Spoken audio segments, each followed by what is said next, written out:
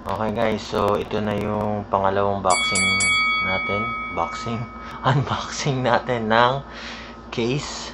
So, kung napanood nyo yung previous one, ito na yung second case na binili ko. So, tara na. I'm so excited. And I just can Ano ba? Okay. So, ito na siya. May init pa.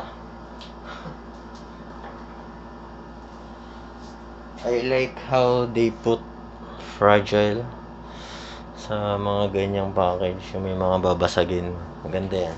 Nice one. Plus one tayo dyan sa mga ganyang nagsisend ng items.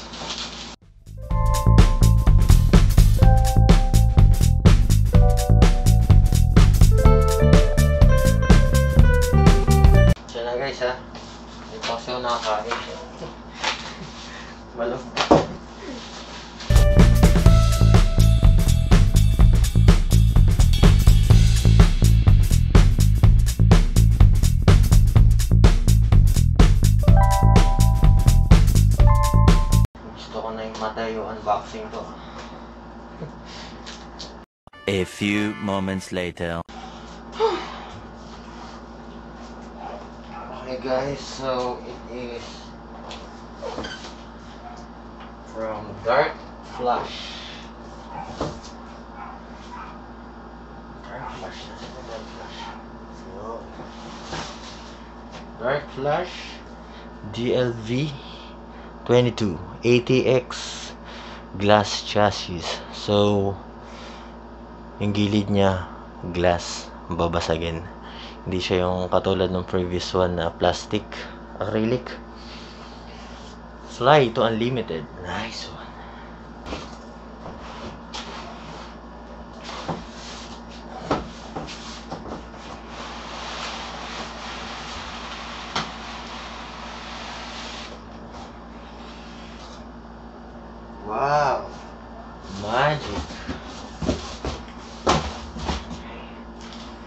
So, manual.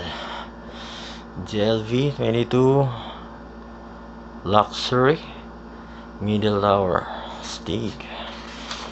So, yan. Ay, ito. And then this one. Una agad likod eh, no?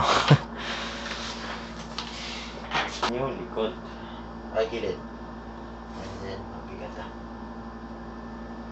This one, yung harap niya. Kita niyo ba? That one. Dark flash. And then, this one. Caution. Tempered glass. Kinatok siya. And then. Okay. So,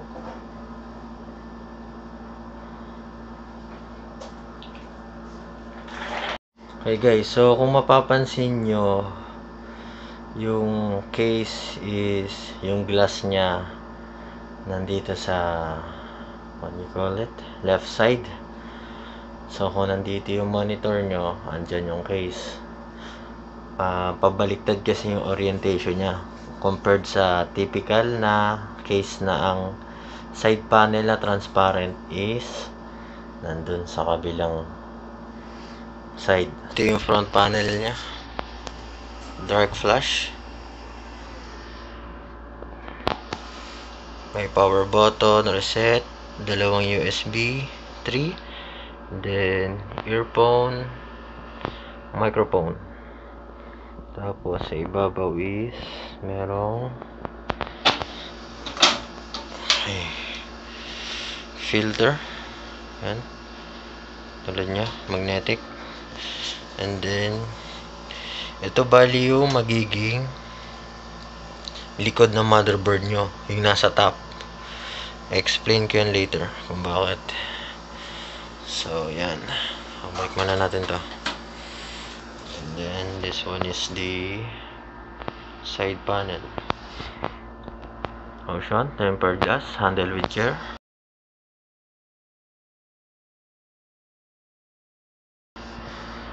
Then, ito. Pero tanggalin muna natin to.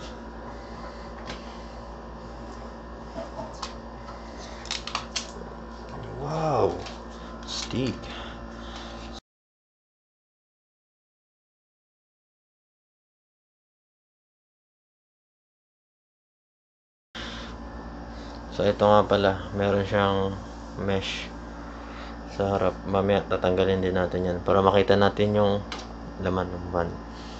Oh, 'di ba? Ang astig, 'di ba?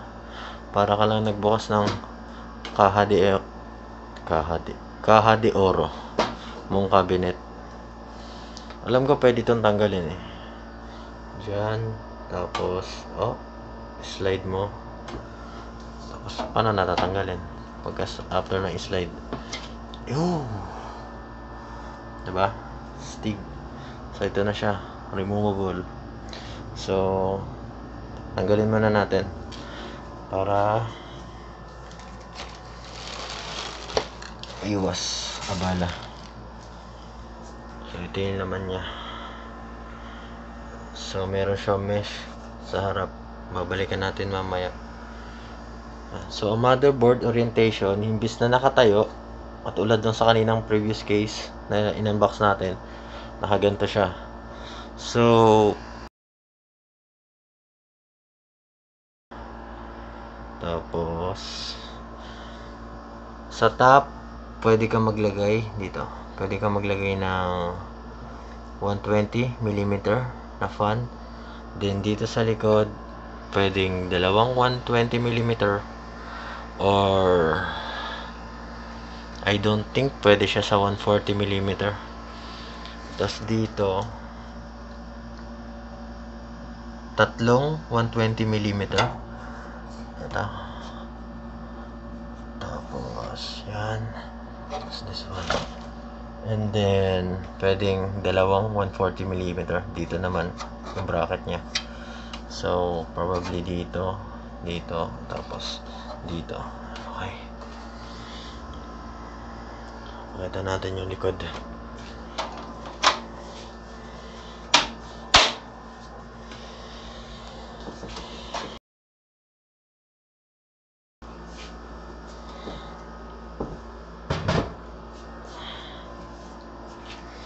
Okay. So, ito yung likod. As usual, power supply. Tapos may mesh pa rin sa ilalim. Pero maganda yung mesh niya. Oh.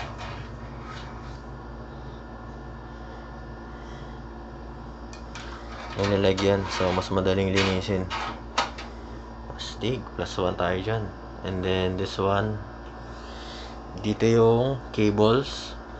Galing sa monitor, power supply, keyboard, mouse. And then,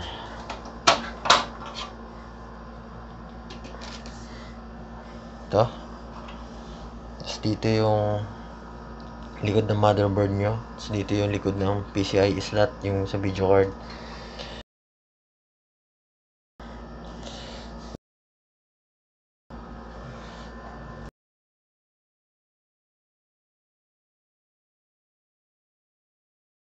Tapos tanggalin natin yung likod.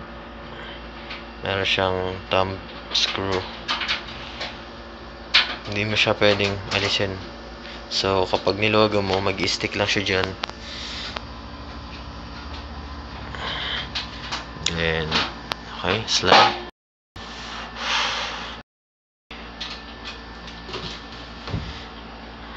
Okay. Yung cables ng front panel power supply tapos dito. Ah, bahay ito ng daga. So tingnan natin kung may lamang daga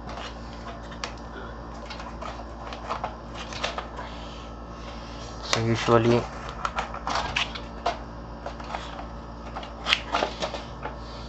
Paano ba ito tinatanggal?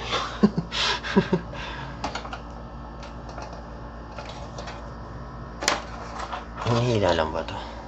Wait lang. dry bay. So, meron siyang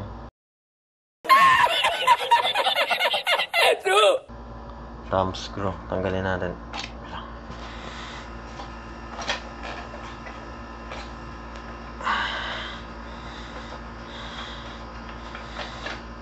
Then, pag natanggal,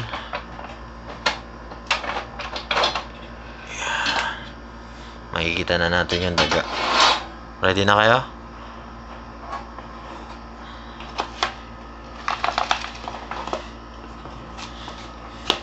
Ano ba naman ito? Sabi may libreng daga daw to eh. Joke lang. Ang laman niya is screw lang. Tsaka zip tie. Okay, yun na. Tapos yan, pang test. Parang may sticker ah. Okay, so may libre pang cloth.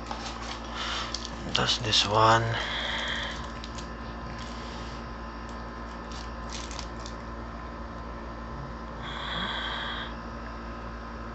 USB.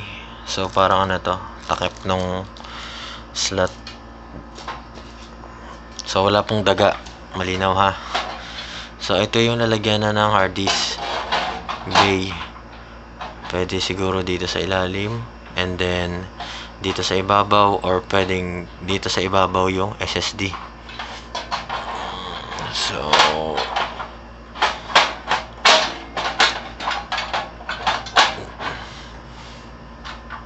balik na natin.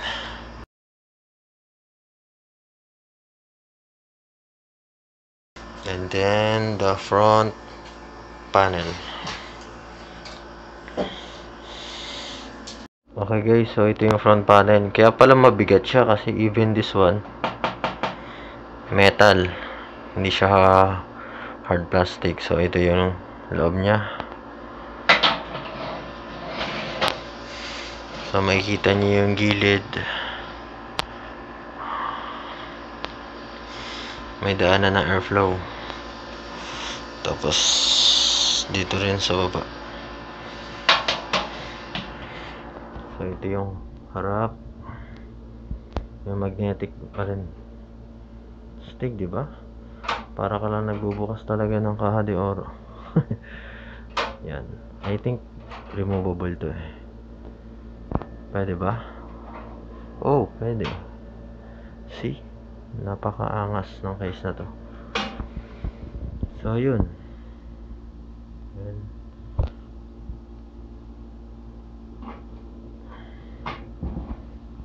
Wala siyang shroud.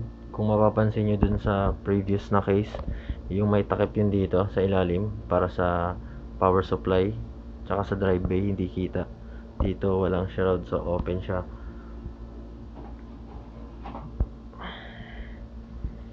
So, yun. Then, next video na lang natin is yung PC building. Pag nilagay na natin lahat ng parts natin, dyan. So, yun lang guys. Susunod ulit. Bye. So, dahil malakas kayo sa akin, at ako lang naman di malakas sa inyo. eh. Kung mapapansin nyo, ganyan yung orientation ng case na yan. Especially yung motherboard. So, imbis na nakatayo siya, kahiga. Parang patulog na. Pero hindi pa yan matutulog. So, ganyan siya. Tsaka mas, although, siguro sa iba, ah, ma-awkward din sa ganyang setup. Pero ako sa akin, maayos yun eh, maangas. Tapos, yung spacing, hindi na siya ganun kalaki compared dun sa kaninang, dun sa previous case na inbox natin na nilagay din natin yung motherboard na yan. So, yun nga. Tsaka, excited na rin ako na mag put na ng mga parts natin dyan para papagana na natin tsaka makapag PC building tutorial na tayo. So, yun lang naman. And, by the way, Itong case nga pala na to, yung dark flash. Tinatawag din niyang OPA case.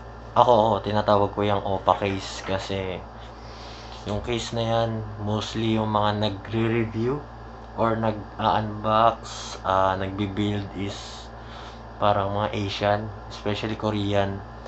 Kung masasearch niya sa YouTube yung name niya, tapos review, unboxing, puro Korean na makikita niyo nag-unbox. So, hindi niyo maintindihan. So, parang first time na ata itong magkakaroon ng review na Tagalog.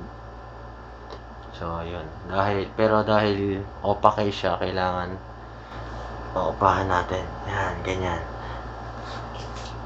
Opa. Okay. Opa. okay guys, so yun lang yung unboxing natin ng pangalawang case. Dark Flash DLV 22. So, abangan nyo na yung PC building natin. Bali, ang inaabangan ko na lang naman is yung fan. And then, kompleto na lahat tayo ng parts. Lalagay na natin dyan. So, yun lang naman. Susunod ulit. Bye-bye. Opa! Opa guys! Bang, bang, bang!